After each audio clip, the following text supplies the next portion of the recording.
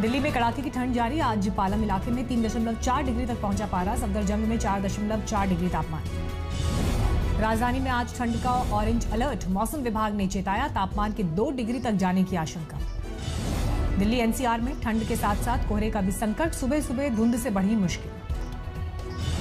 राजस्थान में कड़ाके की ठंड, माउंट आबू में शून्य से एक डिग्री, नीचे पहुँचा न्यूनतम तापमान। जैसलमेर को सर्दी ने झकझोरा। गड़ीसर सरोवर में झील में डल लेक जैसा नज़ारा। हरियाणा में सर्दी का सतह हिसार में दो डिग्री के करीब पहुँचा तापमान, आने वाले दिन में ठंड और कोहरा दोनों बढ़ेगा।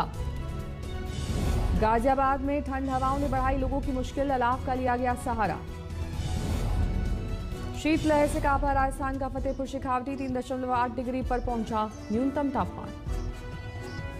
जम्मू कश्मीर में ज़्यादातर जगहों पर शून्य से नीचे तापमान, श्रीनगर में माइनस छह तक लुढ़का पारा। गुलमर्ग में शून्य से 11 डिग्री नीचे पहुँचा न्यूनतम तापमान, औसत से करीब 6 डिग्री नीचे।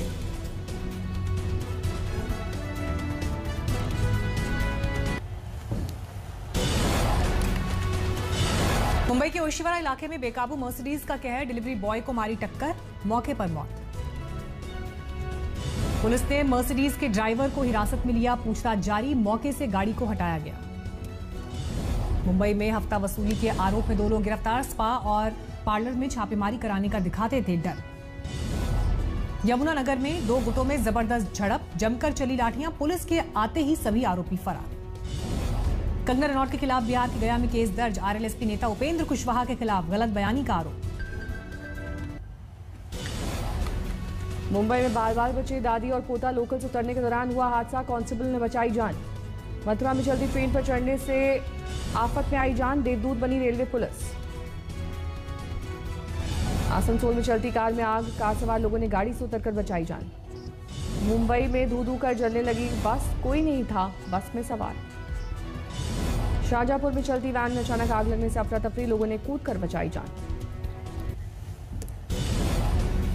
देश में पिछले 24 घंटे में कोरोना के करीब बाईस हज़ार आठ सौ नवासी हज़ार नए मामले 338 की मौत, निन्यानवे लाख उनासी हज़ार के पार पहुँचा संक्रमण का कुल आंकड़ा देश में पिछले 24 घंटे में इकतीस हज़ार से ज़्यादा की रिकवरी, अब करीब तीन लाख तेरह हज़ार एक्टिव मरीज़।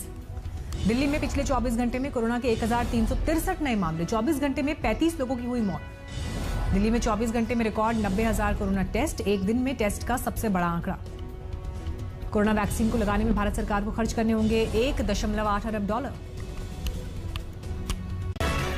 नमस्कार, मैं हूँ अंजना ओम कश्यप हमें उम्मीद है ये वीडियो आपको पसंद आया होगा। लेटेस्ट खबरों के लिए यूँ ही देखते रहिए आज तक और इस वीडियो के पसंद आने पर लाइक शेयर एंड सब्सक्राइब करना ना भूलें।